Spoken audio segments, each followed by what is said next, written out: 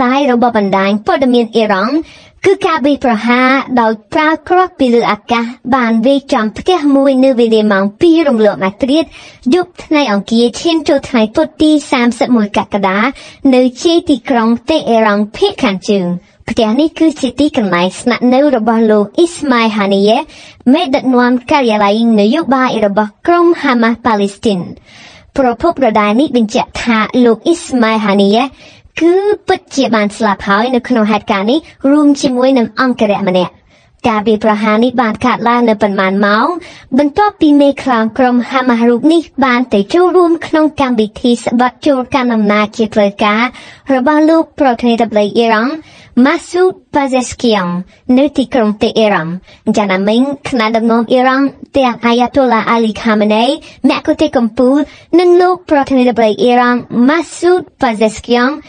ប៉ាហ្សេស្គីយ៉ងបានប្រកាសថ្កោលទោសអ៊ីស្រាអែលភ្លាមភ្លាមដែលហ៊ានធ្វើឃាតមេដឹកនាំក្រុមហាម៉ាស់នៅលើទឹកដីអ៊ីរ៉ង់នៅលើបណ្ដាញសង្គម X លោកប្រធានាធិបតីអ៊ីរ៉ង់បានសរសេរថាសាធារណរដ្ឋអ៊ីស្លាមអ៊ីរ៉ង់នឹងការពារបូរណភាពដែនដីព្រមទាំងកិត្តិយសរបស់អ៊ីរ៉ង់ដោយសម្ដៅទៅលើអ៊ីស្រាអែលដោយប្រយោលលោកប្រធានាធិបតីអ៊ីរ៉ង់បានលើកឡើងថានឹងធ្វើឲ្យចៅឈ្លានពានដ៏កំសាកត្រូវស្ដាយក្រោយ គិតត្រឹមប្រសៀលថ្ងៃពុធទី31កក្កដាទាំងក្រសួងការពារជាតិទាំងរដ្ឋាភិបាលអ៊ីស្រាអែលគឺមិនទាន់ប្រតិកម្មអ្វីទាំងអស់បើទោះបីជាគ្រប់គ្នាគេបានចោទនិងលើកឡើងថាគ្មាននរណាផ្សេងទេក្រៅពីអ៊ីស្រាអែលដែលបានធ្វើរឿងនេះ អ្នកកាសែតបានព្យាយាមតាក់ទងសួរទៅកម្មកងទ័ពអ៊ីស្រាអែលតែគេបានបដិសេធមិនឆ្លើយអ្វីទាំងអស់គិតត្រឹមពេលនេះដល់ឡែកការពីល្ងាចថ្ងៃអង្គារទី30កក្កដាកងទ័ពអ៊ីស្រាអែលបានបើកប្រតិបត្តិការមួយវាយប្រហារនៅជាទីក្រុងបេរុតរដ្ឋធានីលីបង់ដើម្បីសម្លាប់មេដឹកនាំធំម្នាក់របស់ក្រុម Hezbollah ឈ្មោះ Fouad Chouk ជននេះ គឺជាដៃស្ដាំរបស់ Hassan Nasrallah មេខ្លាំធំបំផុតរបស់ក្រុម Hezbollah លីបង់ដែលជាកូនចៅអ៊ីរ៉ង់ការវាយប្រហារនេះត្រូវបានអ៊ីស្រាអែលប្រកាសទទួលស្គាល់ភ្លាមៗថាជាស្នាដៃរបស់គេដើម្បីឆ្លើយតបទៅវិញចំពោះការបាញ់គ្រាប់រ៉ុកែតបណ្ដាលឲ្យស្លាប់ក្មេងៗចំនួន12នាក់នៅកំពង់រាបហ្គូឡានកាលពីថ្ងៃសៅរ៍ចុងសប្តាហ៍កន្លងទៅនេះ វាមិនមែនជាលើកទី1ទេដែលអ៊ីស្រាអែលបានបើកការវាយប្រហារដោយចំពោះដើម្បីតាមសម្លាប់មេខ្លោងរបស់ក្រុមហាម៉ាប៉ាឡេស្ទីនគ្រាន់តែថារដងគឺភាគច្រើនធ្វើនៅតំបន់ហ្គាហ្សាតែលើកនេះគឺធ្វើនៅទីក្រុងតេអេរ៉ង់រដ្ឋធានីរបស់អ៊ីរ៉ង់ដែលជាសត្រូវធំបំផុតរបស់អ៊ីស្រាអែលករណីនេះគឺវាជារឿងប្រថុយខ្លាំងណាស់តែប្រសិនបើរឿងនេះ ពិតជាស្នាដៃរបស់អ៊ីស្រាអែលពិតមែនវាមានន័យថាកម្លាំងនិងសមត្ថភាពរបស់កងទ័ពនិងចារកិច្ចអ៊ីស្រាអែលពិតជាខ្លាំងមិនធម្មតាទេពលគឺបានក្តាប់ព័ត៌មានច្បាស់វាយចំគោលដៅមិនឲ្យខុសបាននិយាយពីហេតុផលវិញគឺអ៊ីស្រាអែលមានហេតុផលច្រើនណាស់ដែលចង់ឃើញមេខ្លោមហាម៉ាស់ឈ្មោះអ៊ីស្ម៉ាអ៊ីហានីយេនេះស្លាប់អ៊ីស្ម៉ាអ៊ីហានីយេឡើងធ្វើជាមេចលនានយោបាយរបស់ក្រុមហាម៉ាស់នៅឆ្នាំ2017 ហើយបានភៀសខ្លួនទៅរស់នៅក្នុងទីក្រុងដូហាប្រទេសកាតាជំនេះបានធ្វើដំណើរចុះឡើងញឹកញាប់ណាស់រវាងកាតាទូគីនិងអ៊ីរ៉ង់គឺអ៊ីស្ម៉ាអ៊ីហានីយ៉ានីហើយដែលជាអ្នកភ្ជាប់ស្ពានសហការរវាងក្រុមហាម៉ាស់ប៉ាឡេស្ទីននិងកងទ័ពឆ្មាំបដិវត្តអ៊ីរ៉ង់ដើម្បីរួមដៃគ្នាធ្វើសង្គ្រាមកំទេចអ៊ីស្រាអែល នៅហ្គាហ្សា កូនប្រុស3នាក់និងចៅចៅ4នាក់របស់លោកអ៊ីស្ម៉ាអ៊ីហានីយ៉ា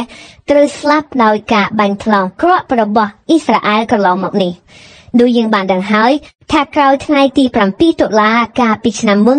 សង្គ្រាមហ្គាហ្សាបានផ្ទុះឡើងរដ្ឋាភិបាលអ៊ីស្រាអែលដឹកនាំដោយលោក Benjamin Netanyahu បានកំណត់កម្មវត្ថុ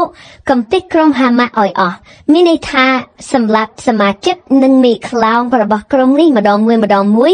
ដើម្បីឲ្យក្រុមនេះបាក់កម្លាំងលែងអាចគម្រាមសន្តិសុខអ៊ីស្រាអែលបានតទៅទៀត កាលពីដើមខែកក្កដាថ្មីថ្មីនេះអ៊ីស្រាអែលបានបើកការវាយប្រហារមួយនៅតំបន់ហ្គាហ្សាដើម្បីសម្លាប់ជនប៉ាឡេស្ទីនម្នាក់ឈ្មោះមូហាមេតដេវដែលជាមេធំបំផុតនៃក្រុមប្រដាប់អាវុធរបស់ក្រុមហាម៉ាស់ មិនទាន់មានការបញ្ជាក់ថាជននេះស្លាប់ពិតមែនឬយ៉ាងណាទេតែកងទ័ពអ៊ីស្រាអែលអះអាងថាគេមានសញ្ញាខ្លះបញ្ជាក់ថាជននេះពិតជាស្លាប់មែនដូច្នេះការសម្លាប់មេចរណានយោបាយហាម៉ាស់ឈ្មោះអ៊ីស្ម៉ាយហានីដែលធ្វើសកម្មភាពនៅខាងក្រៅក៏អាចជាដំណាក់កាលបន្ទាប់របស់កងទ័ពអ៊ីស្រាអែលដែរអ្វីដែលគេព្រួយបារម្ភខ្លាំងបំផុតក្រោយការស្លាប់របស់លោកអ៊ីស្ម៉ាយហានី គឺភ្លើងសង្គ្រាមអាចនឹងឆាបឆេះរាលដាលពេញតំបន់ដាមបូពីគេរងបានគម្រាមហើយថាគេនឹងសងសឹកទៅលើអ៊ីស្រាអែល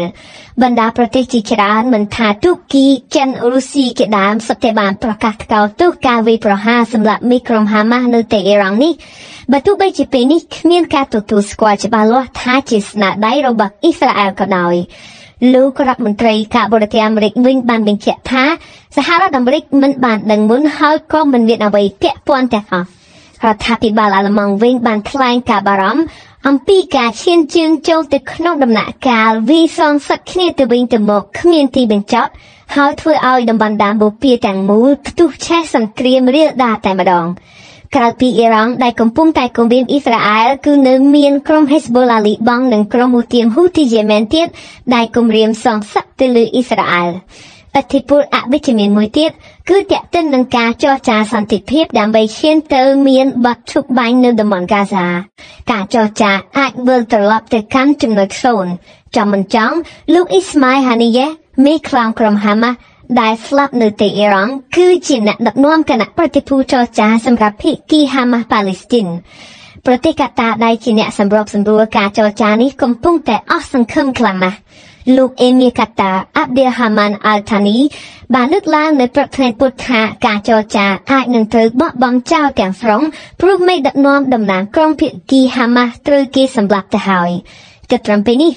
ជោគវាសនាអនាគតរបស់ប្រជាជនស្លូត្រាំប៉ាឡេស្ទីនត្រូវស្ថិតនៅលើចំណុចមួយដែលគ្មានសង្ឃឹមទាស់តែសោះប្រសិនបើសង្គ្រាមនៅតែបន្តគ្មានបាត់ជប់បាញ់ហើយជាមួយគ្នានេះអាយុជីវិតរបស់ចំណាក់ខ្មាំងអ៊ីស្រាអែលចំនួនជាង100នាក់ដែលកំពុងតែស្ថិតនៅក្នុងដៃរបស់ក្រុមហាម៉ាស់នៅតំបន់ហ្គាហ្សាក៏កាន់តែត្រូវរងការគំរាមថែមទៀតដរាបណាគ្មានការចរចាបិទបញ្ចប់សង្គ្រាមសោកនាដកម្ម